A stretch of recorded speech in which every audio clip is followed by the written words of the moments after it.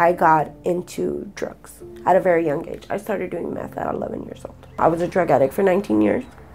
Throughout my addiction, I uh, put myself in a lot of bad situations where I was physically abused, sexually abused, emotionally abused. I went to jail. I went to prison. I lost my kids and was out of their life. While I was smoking, I had a mental breakdown and I the tears couldn't stop coming down my face. You know, my daughter's birthday was like seven days away. I said, "What? You know, something's got to give, Joanna.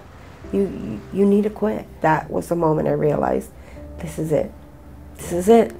And I checked myself into rehab. I was there for a year.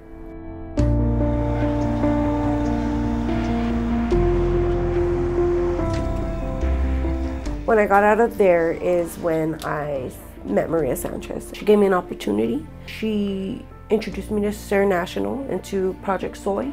And through that, I attended many customer service workshops, different business management workshops, um, opening your own business, and so on and so forth. And you know, she really helped me learn how to put my goals into priority.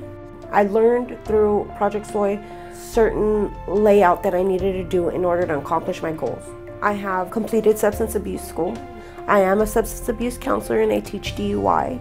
Once my licensing is all complete, I plan on opening up my own sober living. I want to help other people that were in the same shoes as me.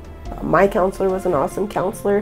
Whatever she did for me, you know, gave me so much hope and inspiration that I wanted to do what she did as well.